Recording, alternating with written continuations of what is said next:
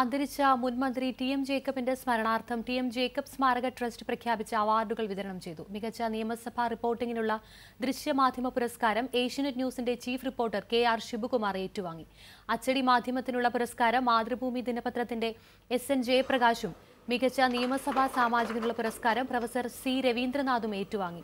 T M ജേക്കബിന്റെ ഭാര്യയും managing ട്രസ്റ്റിയുമായ Daisy ജേക്കബാണ് പുരസ്കാരങ്ങൾ വിതരണം ചെയ്തത്. തിരുവനന്തപുരം പ്രസ് ക്ലബ്ബിൽ നടന്ന അനുസ്മരണ സമ്മേളനം സ്പീക്കർ എൻ ശക്തൻ ഉദ്ഘാടനം ചെയ്തു. എം എ ബേബി അധ്യക്ഷനായിരുന്നു. പെരുവടവം ശ്രീധരൻ ജോണി നെല്ലൂർ ടി എം ജേക്കബിന്റെ കുടുംബാംഗങ്ങൾ എന്നിവർ പങ്കെടുത്തു.